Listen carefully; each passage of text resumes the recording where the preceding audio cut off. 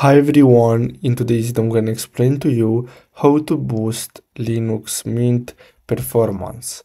So the first step is to simply open any browser and then simply search for boost Linux Mint performance.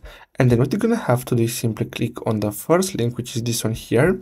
And then you're gonna get redirected here.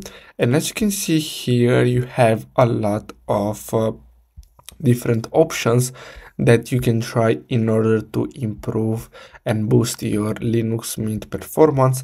So as you can see, you have this one here, improve usage of the system memory, make your solid state uh, drive run faster, disable Java in the LibreOffice. So what you're gonna have to do is simply go through each one of them. So simply uh, click on any of them. And as you can see here, you have all the steps that you need to follow in order to basically complete this step and improve and boost your performance. So as you can see, all of them are uh, uh, here in order. And as you can see, step by step, so basically that's all you have to do. I really hope you found this video helpful. Don't forget to like and subscribe and I'll see you in the next video. Thanks for watching.